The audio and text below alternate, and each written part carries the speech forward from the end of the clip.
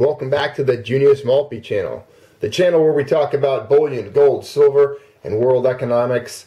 Got an interesting story to talk about today. Thanks for being here because uh, it really drives home some good key points and things that we discuss in here often with some pretty good visual aids as well.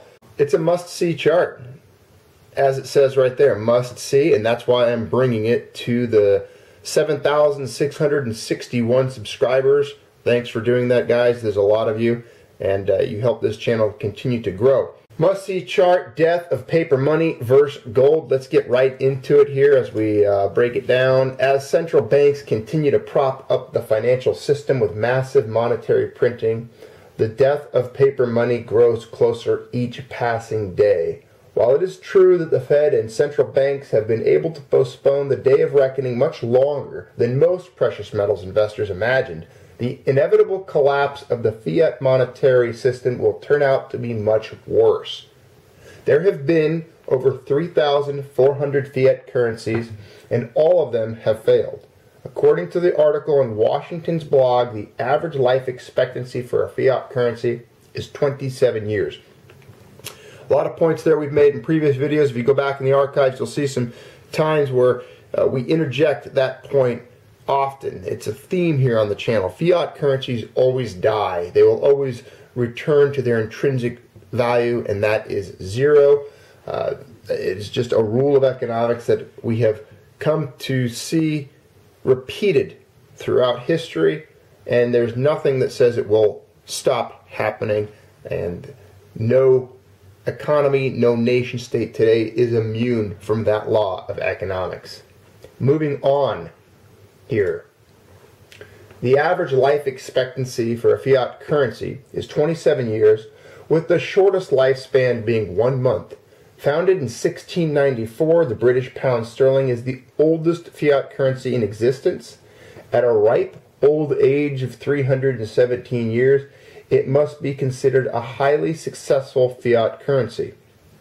However, success is relative. The British pound was defined as 12 ounces of silver, so it's worth less than one two hundredth or a half a percent of its original value.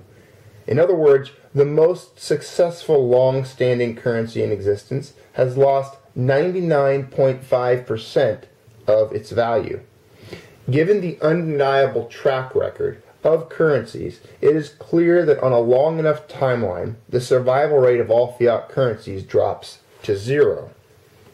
Now, they put up a very interesting little graphic, and if you read above, it says if we compare the average life expectancy for fiat currencies versus gold, we have the following chart.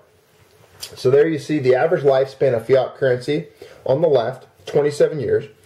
And if you look, there's gold on the right, 2,600 years. So uh, this ties in very nicely with the, the story we covered months ago, uh, probably even a year ago, on gold being the worst, quote, investment in history. It'll eventually be worthless. If you remember, there was a gentleman who put out an article stating that one of these days gold will be on the trash heap of history, uh, akin to certain types of blackberries and and other obsolete items that we as humans no longer have any use or application for. So there you see gold, 2,600 years, fiat currencies, 27 years. Uh, really helps disprove his theory, his little idea of gold one day being worthless. And as we can see here, gold has enjoyed a monetary status nearly 100 times greater than the average fiat currency. Uh, the author of the article came up with the 2,600 year gold money history according to date of one of the oldest gold coins shown below. And we've put images of this very coin on the channel in the past.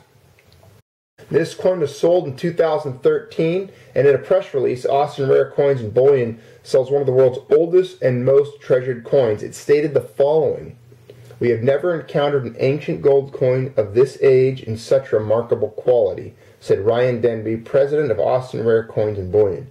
It's hard to imagine this was crudely produced nearly 2,600 years ago. The first coins struck for commerce, created by King Croesus in Lydia, modern day Iran, are referred to as third stater coins and are made of electrum, a combination of gold and silver. This amazing coin, dating to 560 BC, is one of the first staters struck from pure gold. This ancient Lydian coin is about the size of a U.S. dime and contains a quarter ounce of gold. Middle Eastern and European treasures, such as this, have been becoming increasingly harder to find as governments have dramatically restricted the export of such artifacts, preferring to keep them for museum display or for the private collections of ruling monarchies. This pure gold coin produced in ancient Lydia is one of the best quality ancient coins in existence. However, another, even older gold coin was found recently by a diver in Bulgaria. According to the article, diver accidentally discovers world's oldest gold coin. Here's an image of that coin.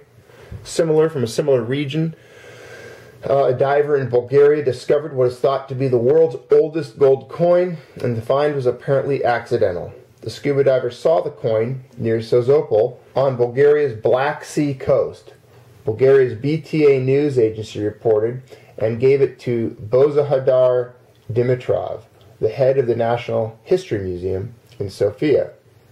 The museum found that the coin appears to have been minted in western Anatolia in the second half of the 7th century, making it more than 2,750 years old. The coin is thought to be from Lydia, a land in Anatolia that's believed to be the originator of gold and silver coins. So again, a similar coin, a similar type stater, fashioned in the same region 2,750 years ago. So there you have it, an even older gold coin, but this coin also comes from the region of Lydia, which was believed to be the originator of gold and silver coins. What is interesting to understand about a gold coin is its ability to last for thousands of years, while the lifespan of modern paper money is considerably less. Not only that, but if you lose paper money, it decomposes, it's gone, it vanishes. Gold is timeless. It has been on this planet since the planet itself was formed, and it will be here long after you and I are gone.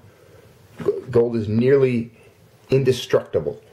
The lifespan of the lower denomination Federal Reserve notes are less than 10 years. However, the $100 bill survives a bit longer due to it being handled less than a 10 or a 20. Here's the lifespan of U.S. paper money. Now, this is just due to the wear and tear of the money circulating. And as you can see there, dollar bills, 5.8 years, all up to the $100 bill, about 15 years, and everything in between, 4, 5, 7, 8, 9 years. That's just the lifespan of the bills in circulation due to the wear and tear upon them, not the economic system that enforces their exchange between people, uh, the legal tender laws that are that force those bills to be traded and exchange between parties for goods and services.